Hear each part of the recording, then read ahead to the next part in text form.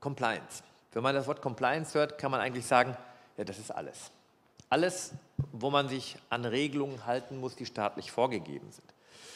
Und wir wollen uns jetzt hier einen Bereich herausgreifen, der uns besonders relevant erscheint. Und zwar E-Sport wird von Personen betrieben, die typischerweise in Organisationen, in Clans angestellt sind. Und wie sind diese Personen angestellt und warum hat das eine Bedeutung für Compliance? Naja, man kann, das könnten wir eigentlich auch, weil der E-Sport eine Querschnittsmaterie ist, aus allen Rechtsbereichen beleuchten. Und dann fällt mir als allererstes ein, dachte mir, oh, ja, der große Klassiker, genau wie Herr Kobs es jetzt hier uns sagen würde, wäre sicherlich, da ist jemand, der wird ausgeflaggt als Selbstständiger. Und in Wirklichkeit schreiben wir selbstständig drauf, Arbeitnehmer ist drin. Warum ist das ein Compliance-Thema? Warum ist das ein Thema? Herr Stutter, was glauben Sie, warum müssen wir da jetzt drüber sprechen? Was ist da, Anführungszeichen, einer der, der Big Drei? Naja, also wir haben, auf einer, wir haben zunächst mal natürlich gewisse steuerrechtliche Risiken, die mit einhergehen.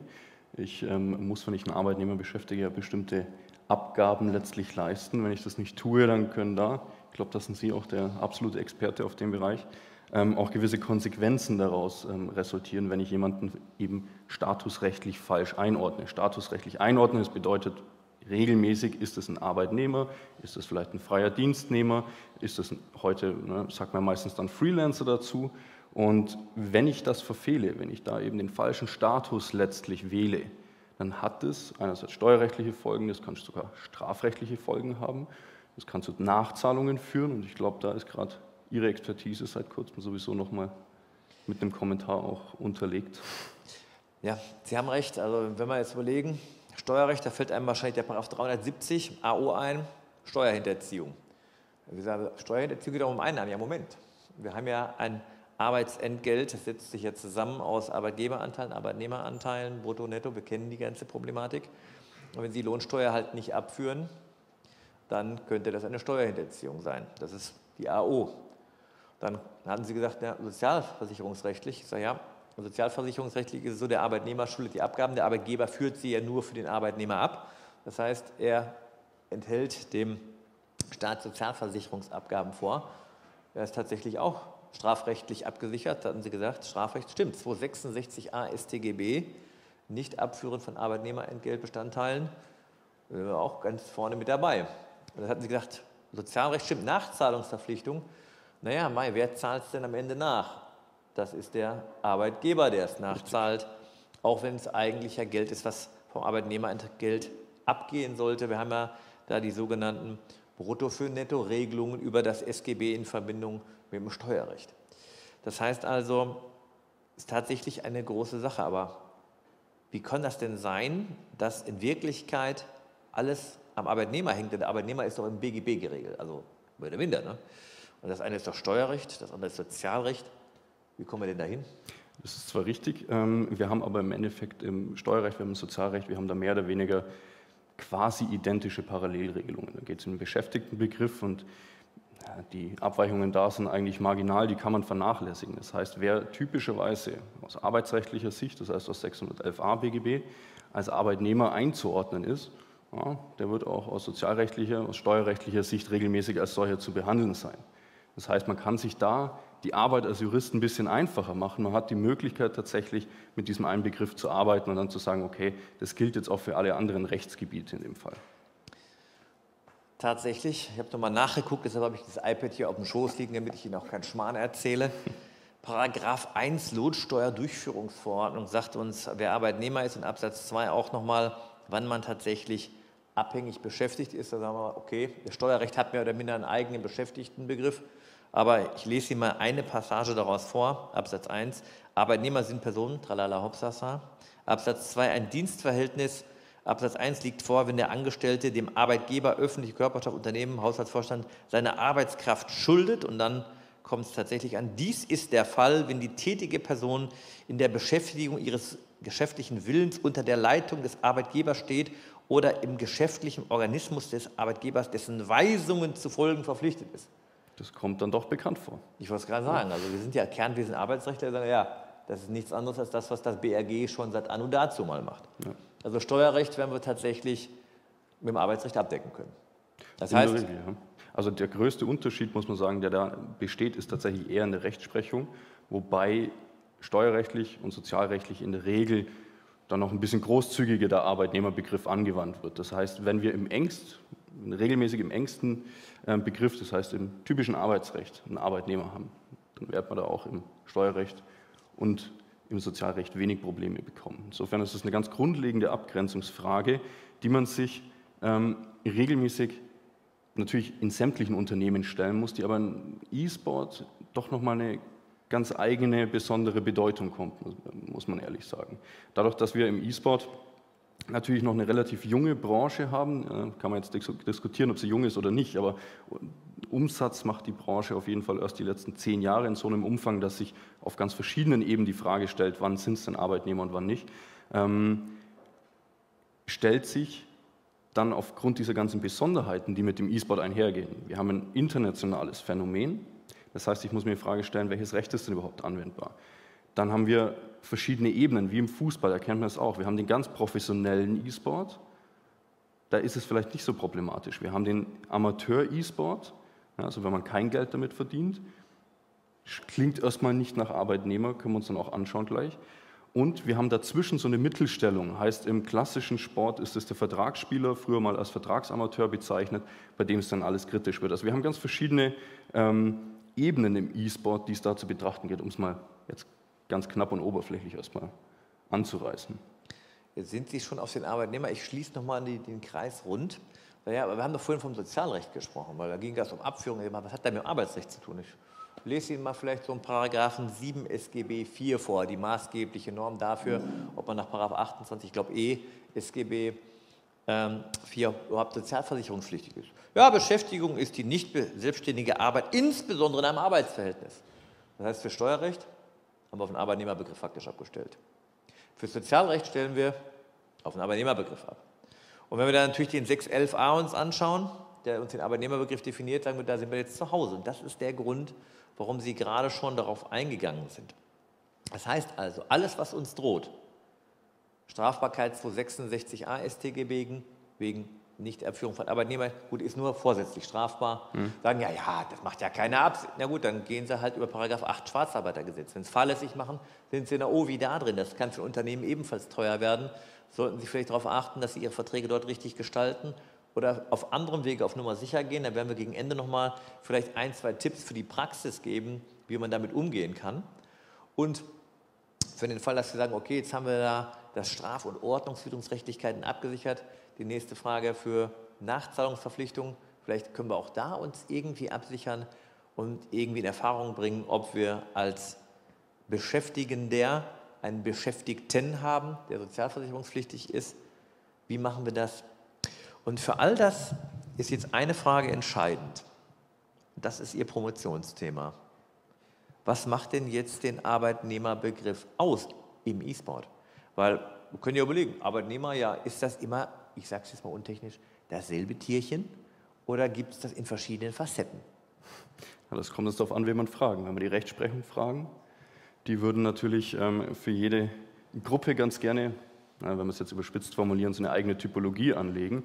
Sagen, ja, beim E-Sportler oder beim Sportler auch, ähm, sieht der Arbeitnehmerbegriff ein bisschen anders aus. Wenn wir uns aber jetzt eben anschauen, dass man seit 2017 Tatsächlich nach knapp 100 Jahren des Streits gibt es jetzt seit 2017 tatsächlich einen Paragraphen, in dem steht, was ein Arbeitnehmer ist. Kann man sagen, naja, es gibt da erstmal eine ganz allgemeine Regelung, die gilt überall. Der E-Sport ist insofern, wie in so vielen anderen Bereichen auch im Recht, zwar eine Querschnittsmaterie, aber erstmal nichts Besonderes. Auf den E-Sport ist das ganz normale Zivilrecht anwendbar aus juristischer Sicht. Die Besonderheiten ergeben sich aus dem Tatsächlichen.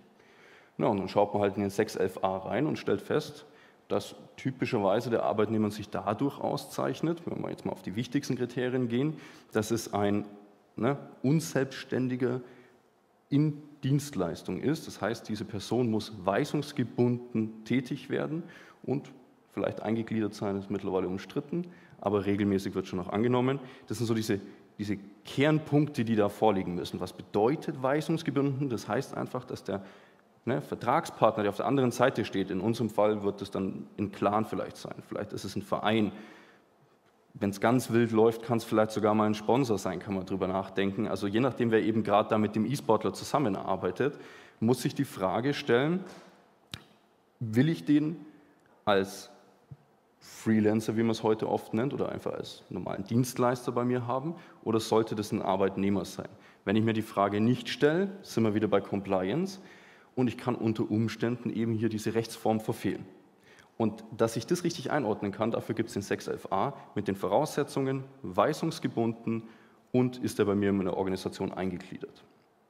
Ich meine, Sie haben die Kommentierung, Sie können ja gerne zum Allgemeinen nochmal vielleicht das nochmal schön aufbauen. Was sind denn die exakten Voraussetzungen, dass man weisungsgebunden ist? Was ist denn da so typischerweise, was sind da die Merkmale, dass man als Unternehmer sagen kann, ja, das ist jetzt eigentlich ein Arbeitnehmer oder nicht? Weil da muss man jetzt auch mal ehrlich sagen, da tun sich die Gerichte häufig auch nicht ganz so einfach, die einzelnen ähm, Tätigkeiten einzuordnen.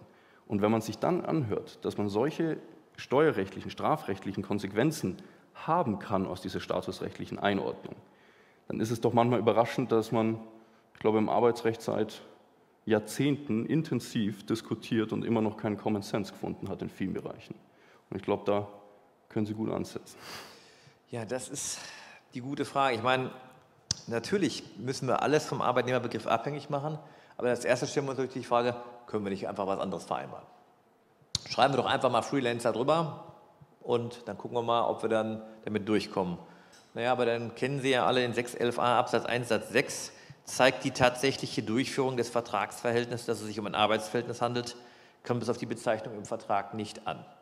Mit anderen Worten, Etikettenschwindel ist nicht möglich, zumindest als Einbahnstraße wenn die tatsächlichen Arbeitnehmer wären. Und dann sind wir genau bei den Kriterien, Herr Schlotterauer, die Sie gerade genannt haben. Wann bin ich denn jetzt tatsächlich in einem Arbeitsverhältnis? Und der 611a macht es ja eigentlich relativ leicht. Der schreibt das nieder, was die Rechtsprechung den letzten 40 Jahren versucht hat, in Leitsätzen wiederzugeben und hat das dann in ja, vier Begriffe eigentlich gegossen. Wir brauchen jemanden, der weisungsgebunden ist, und zwar fremdbestimmte Arbeit verrichtet. Und jetzt kommt es in persönlicher Abhängigkeit durch. Erstens eine Vorgabe hinsichtlich der Durchführung, mit anderen Worten, wie etwas gemacht wird. Zeitliche Vorgaben, wann etwas gemacht wird. Örtliche Vorgaben, wo etwas gemacht wird. Und natürlich auch noch den Inhalt, das heißt, was alles gemacht wird. Das würden Sie alles so in dem 611a Absatz 1 Satz 2 BGB finden. Wenn wir das jetzt alles durchexerzieren, deshalb ist es auch so schwierig, diese unterschiedlichen, ich sage jetzt mal Tierchen, die wir alle sind. Der eine hat mal einen gelben Flügel, der andere mal einen blauen Flügel. Ja, die Tätigkeit eines Arztes ist anders als die eines Lehrers, anders als eines Sportlers, anders als eines E-Sportlers, anders als des Kassierers, anders als des Künstlers, alles Mögliche. Das heißt also, wo haben wir jetzt letztendlich die Besonderheiten? Und dann nehmen wir doch einfach mal die Weisungsdichte, die wir brauchen. Wir brauchen letztendlich jemanden, der, ich versuche es mal so zu visualisieren, dem die Hände gebunden sind. Wie können Sie jemandem die Hände binden? Sie können ja sagen, guck mal hier, so viel Platz habe ich. Oder ich habe nur so viel Platz. Das heißt, es ist wirklich der Unterschied, ist ein wertender Unterschied. Haben Sie viel Handlungsspielraum, Zeitort, Inhalt, Durchführung, sind Sie frei. Jetzt merken Sie schon, was ist viel? Viel fetter Bauer auf dem Wagen, hat man auch mal früher gesagt. Das heißt also, das ist eine Wertung. Und da sind wir wieder bei jeder Tätigkeit einzeln. Jetzt gucken wir gleich nochmal, und das ist ja genau das, was Sie herausarbeiten in Ihrer Dissertation. Wo ist man denn vom Tatsächlichen, wenn wir den Phänotyp des E-Sportlers gleich nehmen? Gucken wir uns erstmal den Profi vielleicht an, der hat uns ja schon eingeteilt. Wo ist der denn unfrei, wo ist er nicht unfrei? Wo hat er Flexibilität? Weil, ich sage mal unter uns gesprochen, wir reden E-Sport, das ist digital. Sie können das zu Hause machen, Sie können das, wenn Sie das Equipment irgendwo hinschleppen, natürlich ist es klar, wenn Sie sagen, ich brauche jetzt entsprechende, wirklich, der Ping darf nicht lang sein, die Leitung muss schnell sein, ich brauche entsprechende Auflösung. Equipment ist ja klar, dass Sie nicht irgendwie mit so einem alten äh, Notebook in der Ecke auf, in Hawaii das machen können, sondern irgendwo vielleicht mit einer guten Anbindung, das ist klar. Aber Herr Schlotter, wenn Sie mal die einzelnen Sachen durchgehen, was kennzeichnet dann unseren E-Sportler? Fangen wir mal an mit Ort oder Zeit, Durchführung oder Inhalt. Suchen Sie es aus. Da würde ich tatsächlich noch einmal ganz kurz eins vorgreifen wollen. Wir können da, und das machen, das ist glaube ich so ein genereller Fehler, wir können nicht den E-Sport, und Sie haben ja schon gesagt, wir, wir schauen uns mal den professionellen E-Sport an, aber wir können das eben nicht über einen Kamm scheren. Also wir können nicht den Professionellen bei G2 oder ähnliches beispielsweise die E-Sportler uns anschauen und hinterher sagen, ja, das sind alles Arbeitnehmer. Wenn ich mir den Spieler bei G2 anschaue, dann hat er halt ein ganz anderes Tätigkeitsbild, als das vielleicht in einem kleinen Verein, von mir aus ein herkömmlicher Sportverein beispielsweise ist, bei dem der Spieler ähm, irgendwo in so einem Übergangsbereich liegt zwischen einem richtigen Amateur, der gar kein Entgelt bekommt, vielleicht bekommt er plötzlich Aufwandsentschädigungen, hat eine gewisse Flexibilität, wann er da spielen muss, vielleicht wird er aber auch zunehmend verpflichtet. Also wir müssen erstmal unterscheiden, wir haben den professionellen E-Sport, darunter gibt es dann eine, Ebene, die man auch aus dem herkömmlichen Sport kennt, die man da eigentlich ganz gut übertragen kann. Das ist so dieser Vertragsspieler. Das ist die Welt zwischen einem reinen Amateur, wie man sich klassisch vorstellt, so nach dem olympischen Leitbild ähm, von früher, dass man sagt, na, der bekommt gar keine Vergütung. Und wer ohne jede Vergütung tätig wird, ist regelmäßig, schauen wir uns auch vielleicht mal nochmal an, können wir auch nochmal reingehen in die Schein Scheinamateur-Diskussion, ist dann kein Arbeitnehmer. Und dazwischen haben wir so diesen Vertragsamateur. Und jetzt muss man sich vor Augen halten, dass ähm, je nachdem, auf welchem Professionalisierungsgrad wir uns da befinden, verändert sich dieses typische, dieser Phänotyp des E-Sportlers sehr, sehr stark.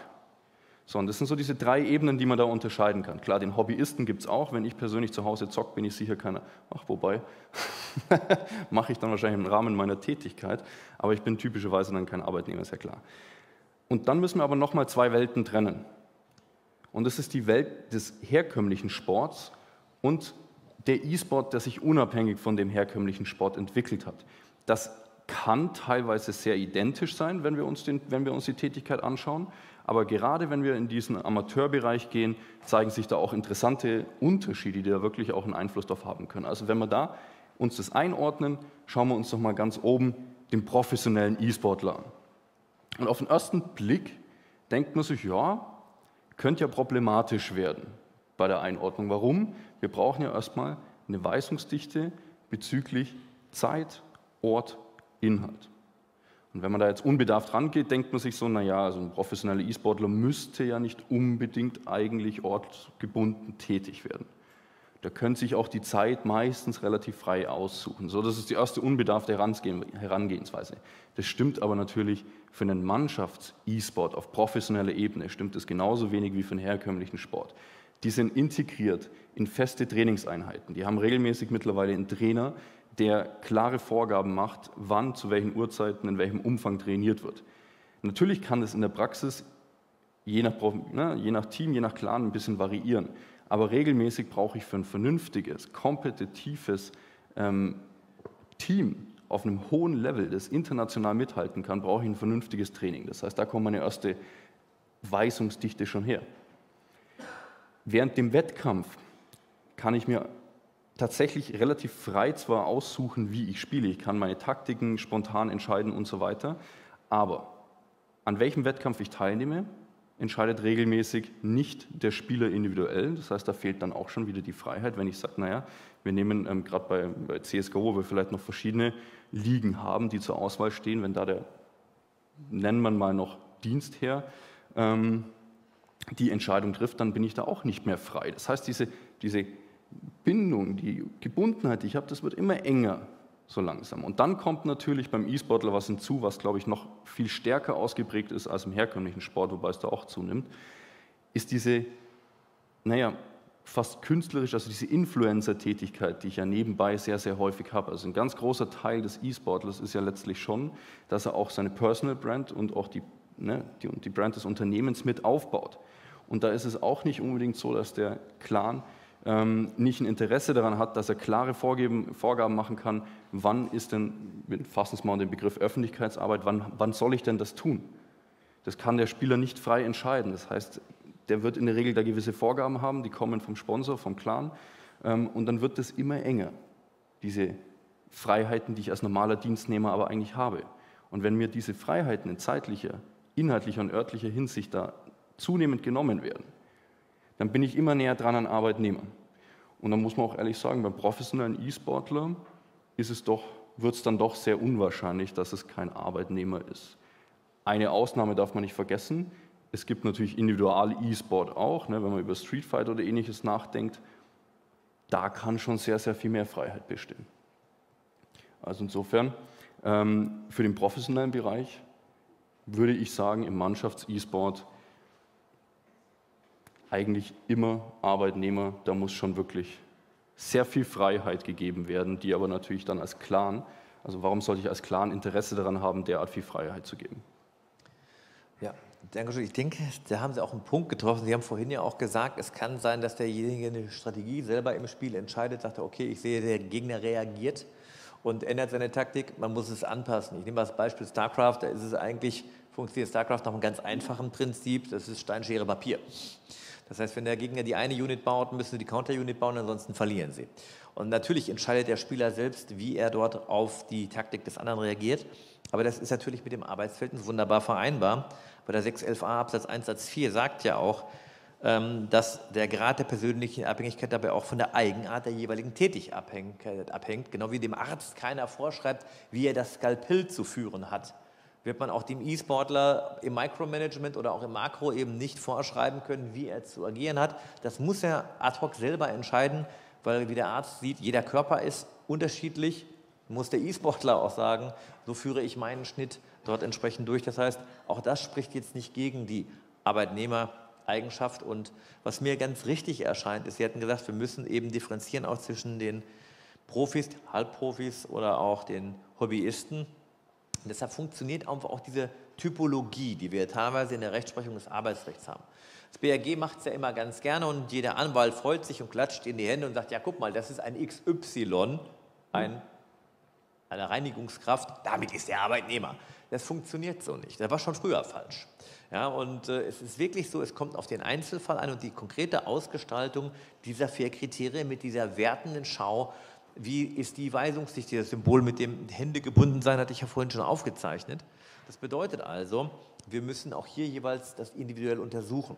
Und wenn wir jetzt den Ort nehmen, wie sehen Sie das denn mit dem Ort in Bezug auf einen virtuellen Raum? Wenn wir jetzt wirklich sagen, okay, derjenige hat die Möglichkeit von zu Hause aus arbeiten.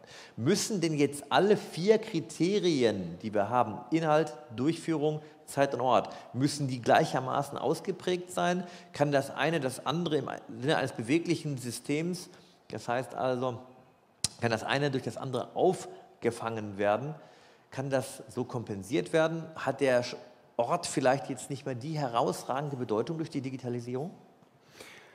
Also da muss man sich, dadurch, dass die Rechtsprechung mehr oder weniger zu Gesetz geworden ist und der Gedanke des Gesetzgebers dahinter war, letztendlich die Rechtsprechung eins zu eins zu übernehmen.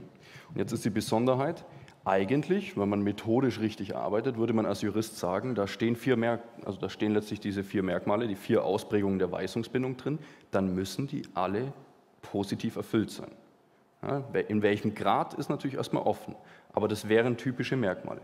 Jetzt weiß man, dass die Rechtsprechung das ein bisschen anders sieht, nämlich dass einzelne Merkmale tatsächlich, wie beispielsweise die Ortsgebundenheit, die können ganz wegfallen oder nur noch ganz, ganz schwach ausgeprägt sein. Und es reicht trotzdem, dass man Arbeitnehmer ist. Insofern als Laie, der sich diese Norm anguckt, kann man auch ganz schön überrascht sein, dass letztlich einzelne Voraussetzungen, die da drin stehen in so einer Norm, in so einem Gesetz, gar nicht tatsächlich erfüllt sein müssen. Und da ist natürlich jetzt das Spannende im E-Sport, gerade wenn wir uns vielleicht auch mehr auf den Amateurebenen befinden dann, dass diese Ortsgebundenheit nicht zwingende Voraussetzung ist. Es ist natürlich als Arbeitgeber auch ein bisschen dann die Frage, in welchem Vertragsverhältnis will ich mich bewegen? Gebe ich da vielleicht Freiheit, um den Status eines freien Dienstnehmers vielleicht irgendwie noch ähm, zu erhalten? Und dann ist lebe ich und dann ist natürlich jetzt so diese neue Frage, die mit der Digitalisierung aufkommt, nicht nur im E-Sport, auch in anderen Bereichen, ob wir diesen virtuellen Arbeitsort, ob wir den als Anknüpfungspunkt vielleicht unter Umständen nehmen können, um tatsächlich zu sagen, naja, also wer, egal zwar an welchem realen Ort, aber doch virtuell anwesend sein muss, also im, im Grunde ja genauso gebunden ist, ob wir das nicht als Ortsgebundenheit sehen wollen tatsächlich und dann sagen, okay, es ist wieder ein Arbeitnehmer. Also das ist eine Frage, die stellt sich gerade im E-Sport, im Amateurbereich sehr stark. Ne? viele Turniere finden online statt. Und insofern würde ich sagen, kann man das tatsächlich tun. Wir haben ja Begriffe, die mit der Zeit gehen müssen. Das ist nichts Neues. Ne? Also wenn wir 100 Jahre lang das Recht immer gleich angewandt hätten, dann würde unser System hier, unsere Gesellschaft gar nicht mehr funktionieren. Also von der Offenheit der Begriffe her würde es funktionieren. Die geltungszeitliche Auslegung, würde der Methodenlehrer gerade sagen, ist genau das, was wir machen. Wir müssen die Begriffe halt so interpretieren, wie sie in der Rechtsordnung jetzt sind. Ich hatte zwar einen Kollegen mal in Bochum, der sagte, man könnte auch heute alles noch nach dem römischen Rechte lösen. Aber ich stelle mir gerade vor, wie der eine Römer dem anderen Römer sagt, kannst du mir mal deinen Netflix-Account rübergeben, ich möchte gerade den Stream so XY sehen. Hatten die Römer, glaube ich, eher selten. Und im Zuge dessen müssen wir natürlich auch mit der Zeit gehen, denn ansonsten geht man ja mit der Zeit. Und da haben wir natürlich dann die Neuerungen zu berücksichtigen. Sie hatten gerade ausgeführt, dass ein Baustein innerhalb der Kriterien, die eine Weisungsbindung ausmachen, eine andere ersetzen kann. Damit sind wir dann genau in dem beweglichen System, was Wilburg entwickelt hatte. Wenn Sie aus der Methodenlehre und auch aus der Rechtshistorie sich das anschauen, hat er dieses System entwickelt. Er sagt, naja, ein Plus an der einen Stelle kann ein Minus an der anderen Stelle kompensieren. Und das deckt sich ja auch mit dem, was das Gesetz mittlerweile aufgrund der Rechtsprechung aufgenommen hat. Die Gesamtschau muss es ergeben, dass es ein Arbeitsverhältnis ist. Und deshalb werden wir auch die E-Sportler künftig nicht über einen Kamm scheren. Und wir sind eigentlich schon so, da wir gerade bei Herrn Jens überzogen haben, dass wir nur noch zwei Minuten haben. Deshalb drücken wir ein bisschen auf die Tube und geben noch mal einen kleinen Ausblick darauf, dass wir nicht nur Steuerrecht, Strafrecht und sozialversicherungsrechtliche Sachen dort haben. Denn für den Fall, dass wir den E-Sportler als Arbeitnehmer sehen, und da ich denke, wir sind uns da einig, dass im Profibereich die typischerweise, wie gesagt, wir müssen immer im Einzelfall schauen, haben wir ja gerade gesagt, typischerweise ein Arbeitnehmer vorliegen wird, dann können wir Schwierigkeiten bekommen, insbesondere mit einer Materie, die jetzt eigentlich in der digitalen Welt 4.0, im Arbeits-, in der Arbeitswelt 4.0 ein riesengroßes Problem ist. Herr Schleuter, was meine ich damit? Ich hoffe, Sie spielen aufs Arbeitszeitgesetz an. Ja, das ist das Arbeitszeitgesetz. Ja, funktioniert schwer mit unserer Digitalisierung, muss man sagen. Also das ist natürlich ein, ein Phänomen, das jetzt im E-Sport natürlich genauso problematisch ist, wie es, glaube ich, in fast allen zunehmend digitalisierten Berufen ist. Das kennt auch fast jeder. Man ist ständig und immer erreichbar. Die Arbeitszeiten sind eng festgelegt. Und da stellt sich natürlich, also gerade auch im E-Sport, auch die Frage, ne, kann ich am Wochenende spielen, bis zu welchen Uhrzeiten kann ich spielen, ähm, dann die Frage, wie lange am Tag darf ich das Ganze praktizieren. Also wir kommen da natürlich, wenn wir im Arbeitsrecht sind, in die Bredouille. Genau das ist es. Wir haben das Arbeitszeitgesetz, eigene OVI-Tatbestände, compliance-technisch aus Sicht derjenigen, die letztendlich die Verantwortung im Clan oder Unternehmen tragen, eine große Frage. Tja, da kommt noch eine Perpetuierung dazu, die das Ganze noch schlimmer macht. Wir, wir denken immer, Arbeitszeitgesetz, der Arbeitsrecht, der 48 Stunden die Woche, maximal im Durchschnitt, Ausgleichszeitraum geht ja noch.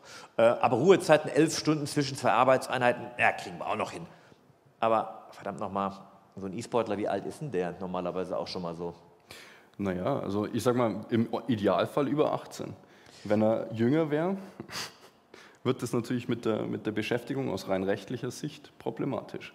Also zumindest wenn wir von einem Kind tatsächlich sprechen, ähm, haben wir das Problem, die dürfen wir gar nicht beschäftigen oder nur in extrem kleinen Ausnahmen, wo dann die Frage ist, ob überhaupt diese Sonderregelungen für den Sport anwendbar sind. Und selbst bei, na, minder, ähm, bei Jugendlichen haben wir das Problem, dass solange die voll schulpflichtig sind, ebenfalls nur in extrem eingeschränkten Umfang beschäftigt werden. Also nie, es ist so wenig, dass man damit keinen E-Sport betreiben kann. Ne? Nicht nur das, bei den Jugendlichen ist es so, wie ist das mit der Beschäftigung am Wochenende? Schwierig. Bei Kindern und schulpflichtigen Jugendlichen ist es nicht möglich. Wann finden die großen E-Sports-Turniere statt? Regelmäßig nicht vormittags. An welchen Tagen finden sie auch oftmals statt? Natürlich, die sind am Wochenende, die sind ähm, spät abends teilweise. Dann haben wir noch Zeitverschiebungen drin, wenn ich äh, die Märkte ähm, in verschiedenen Bereichen erreichen will. Ähm, das ist natürlich aus wirtschaftlicher Sicht eher problematisch, wenn Minderjährige da mitspielen. Und man steht dann natürlich auch in der Öffentlichkeit. Und dann ist halt die Frage, ob irgendwann mal hier da eben Compliance-technische ja, Compliance Probleme entstehen könnten. Also Sie merken, der Statusbegriff des Arbeitnehmers, der ist nicht nur für Steuerrecht, für Strafrecht, für Sozialversicherungsrecht, für das Arbeitszeitrecht spielt er auch eine Rolle mit den OWIs, die da hinten dranhängen. Und wir könnten das Ganze beliebig fortsetzen. Wir haben jetzt leider nicht viel Zeit, aber ansonsten würden wir noch darauf eingehen. Es gibt natürlich auch im Jugendarbeitsschutzgesetz Regelungen dafür, dass für Sportveranstaltungen dort Privilegierungen bestehen, dass man da doch mal was machen kann, aber das führt uns jetzt zu weit mit Blick auf die Uhr. Aber was wir auf jeden Fall noch machen wollen, ist einen kleinen Ausblick geben. Es Früher sagte man im Ruhrgebiet, ich bin Kind des Ruhrgebiets, da hebt die Kuh den Schwanz. Da kommt das Entscheidende raus oder es kommt nicht raus. Das ist die Frage, Arbeitnehmer ja oder nein?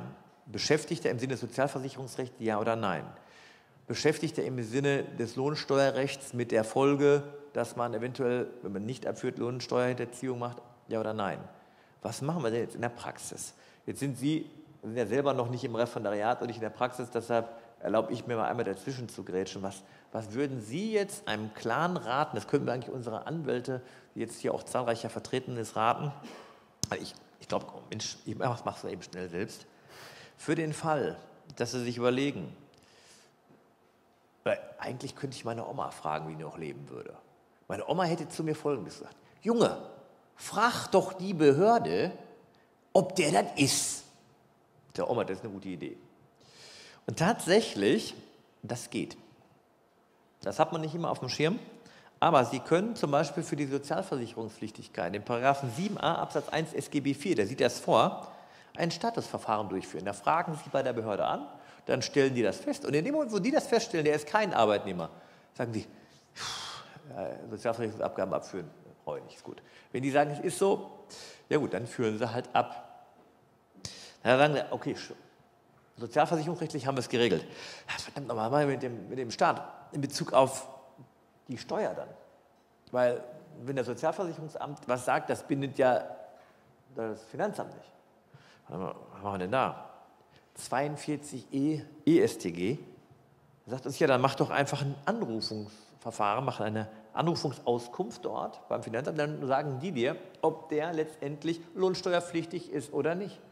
Das heißt also, wenn Sie aus compliance-technischer Sicht auf Nummer sicher gehen wollen, dann sorgen Sie einfach dafür, dass die Behörden involviert werden. Die werden natürlich immer gerne sagen, ja, sind sie. Warum? Äh, ich sage mal, das ist immer die, die fünfte Auslegungsmethode, habe ich früher gesagt, aber wir sind ja online, deshalb darf ich es nicht sagen. Das ist die Auslegung, wo der Staat am meisten Geld verdient. Ja?